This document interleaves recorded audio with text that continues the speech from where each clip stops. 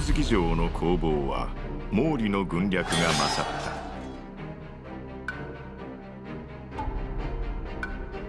た。しかし黒田官兵衛竹中半兵衛の働きにより羽柴軍に決定的な打撃を与えるには至らなかった。秀吉は瞬く間に体制を立て直し三木城を制圧。近畿播磨の反乱もことごとく鎮圧した。そして秀吉は毛利の要衝備中高松城に攻めかかる。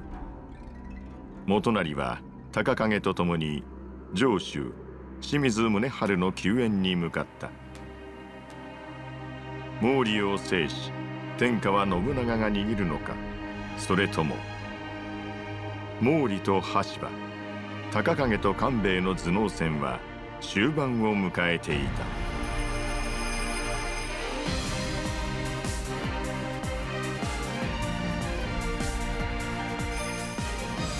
中国の将備中高松城の戦い。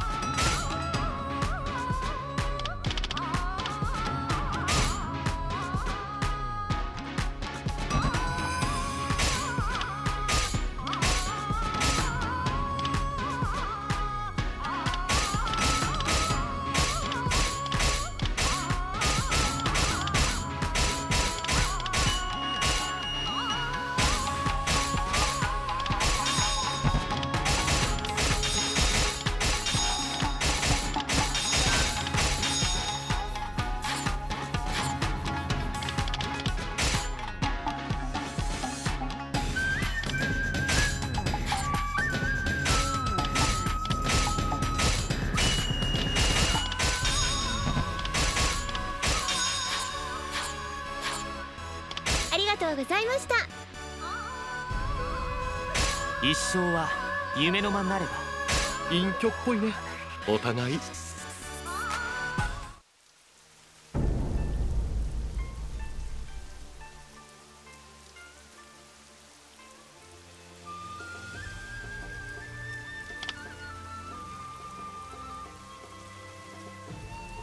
秀吉は一里もの長さの大堤防を築き高松城を丸々また大掛かりな策できたね。人死にを最小限に抑えたいのです。随分黒田官兵衛を買ってるんだね。彼は待っているの織田信長が消えた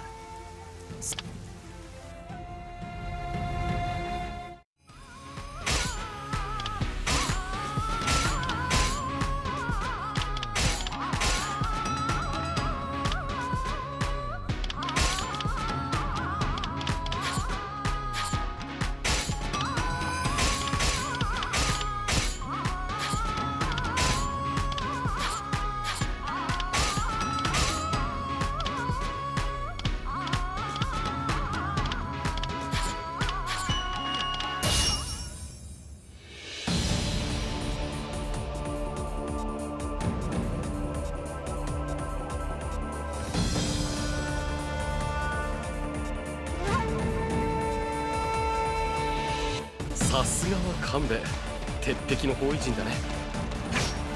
まずは本陣の先場所を確保しようか。ならば堤防の砦が適当かと思います。全軍を二手に分けて進ませましょう。一方が砦北側より敵軍を林道方面に誘導しもう一方が東側より砦に侵入を試みるのです。承知しました叔父上。では私は東側より砦に進みます。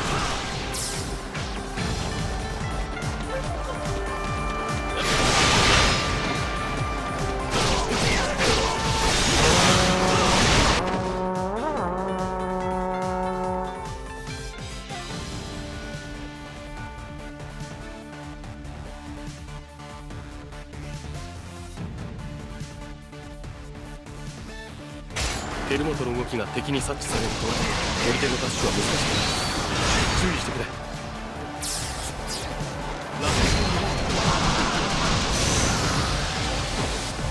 奥の手だあれは敵の援軍急ぎ付近の味方に知らせなくては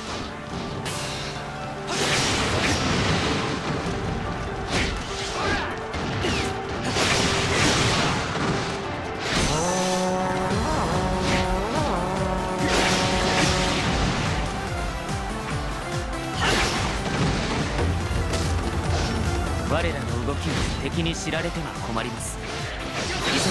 急ぎ追撃しましょう。うわありゃ毛利の援軍じゃね？さあ俺様が追っ払ったら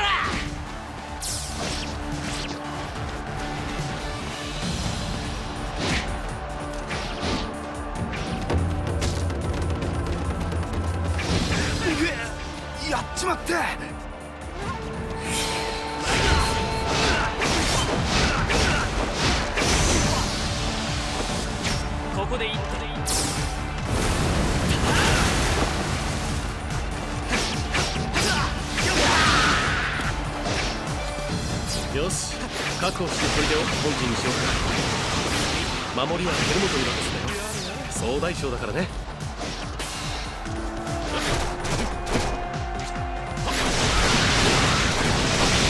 次は南東砦を落とし大衆一帯を確保してしまいましょう。南東砦からなら高松城に援軍を送りやすいうまくやれば逆に敵を包囲攻撃できるだろう。宗春はもう悲壮な覚悟を決めてる頃だ。早く助けないと取り返しがつかなくなる。奥の手だ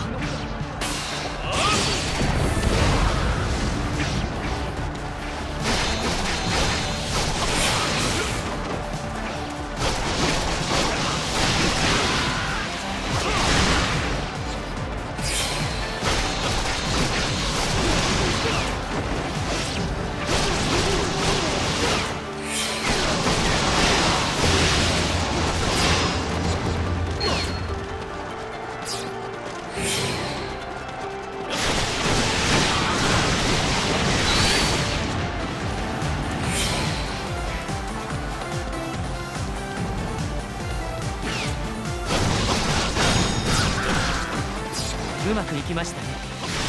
高松城の援軍小舟に乗せて逐次搬送しましょううん小舟なら敵の目につきにくいから。ね急いで準備にかかろう。こ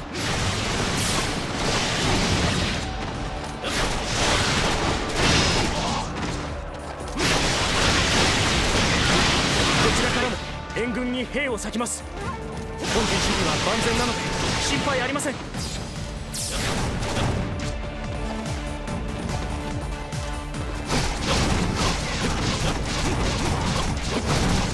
これで包囲攻撃作戦の準備は整った。我々も高松城に向かおうか敵もすぐに我らの動きに気づくはず。急ぎましょう。宗春を死なせてはなりません。ああれは毛利軍。大変だよ。後ろから敵が来てるよ。やるしかないか。一瞬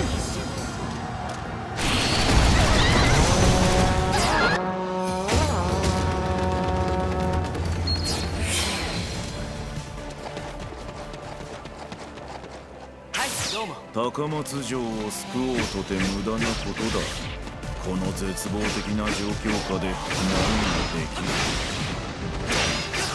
朝則のバカは何やってたんだ前線部隊毛利の進軍を阻め開門我が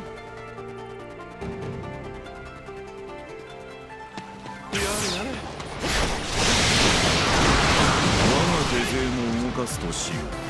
市街地より堤防の外へ橋を架けよう。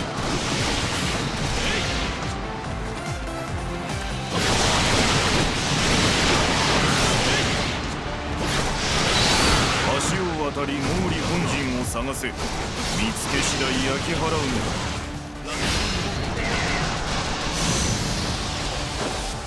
だ。奥の手だ。さあいよいよ総力戦だ。確実に突破していこう。長く足止めされても攻撃の木を逸します。それに胸張る命急ぐな。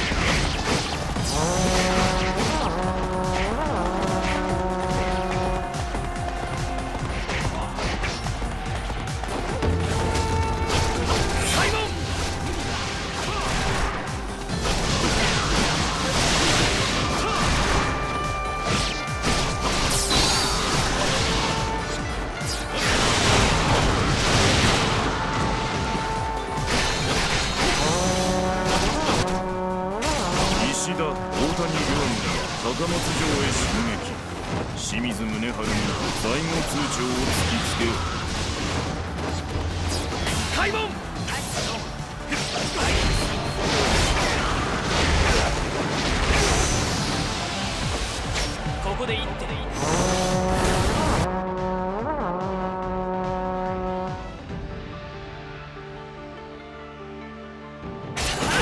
る後陣の兵は外周の毛利に当たれ。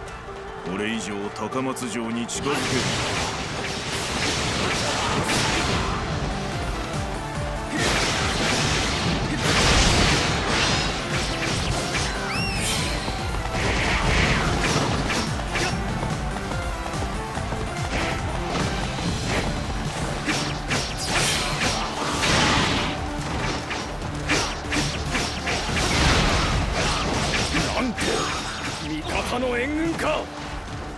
援軍が間に合ったようですね。場外の敵を攻撃する好機です。これぞ本領。本領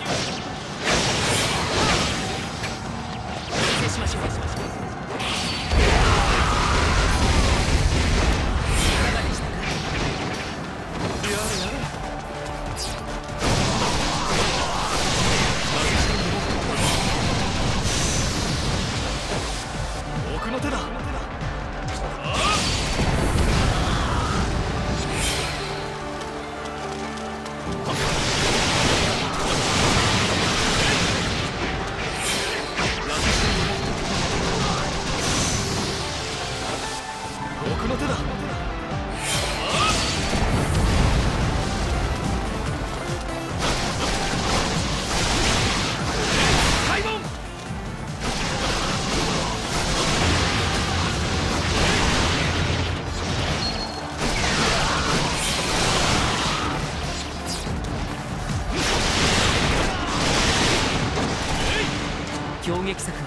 まくいきましたね開門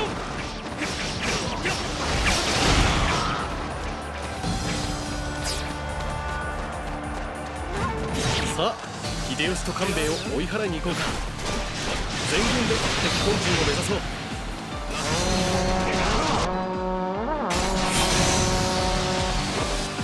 奥の手だ。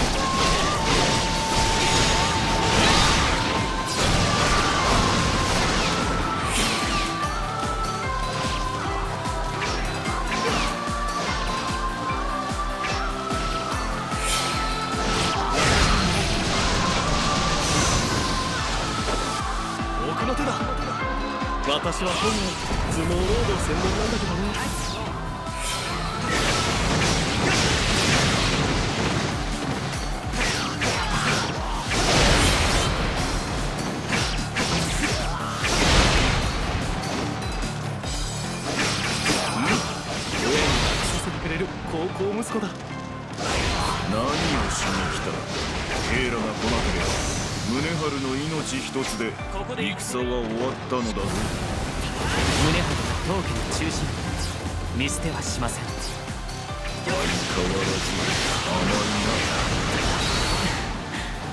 光月城を見捨てなかったあなたに言われたくはありません。ここで言って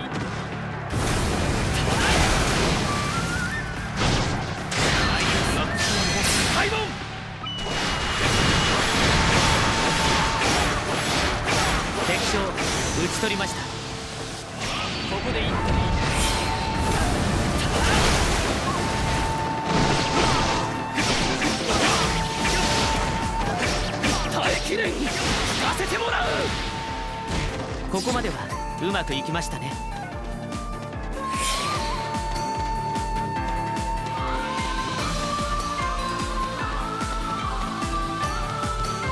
こりゃたまらんわ。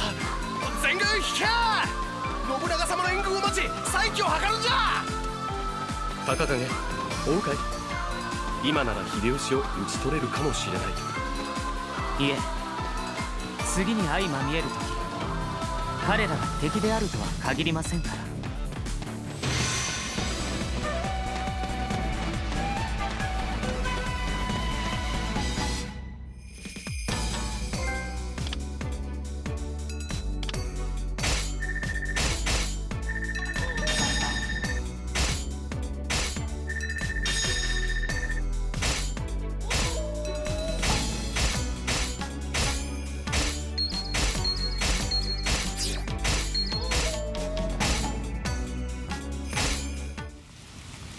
こたびの戦は勝てたが次は信長本体。いよいよ織田の総攻撃が。それはありません。申し上げます。羽島軍突如撤退開始。光秀謀反。信長様が本能寺でご運が開けましたな。勘弁お気持ちはすでに定まっておいでで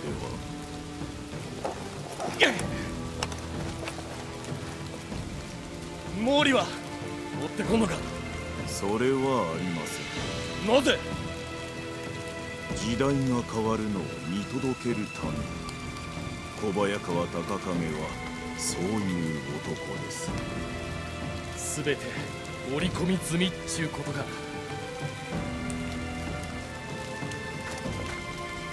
大返しや!信長様の敵を討つ!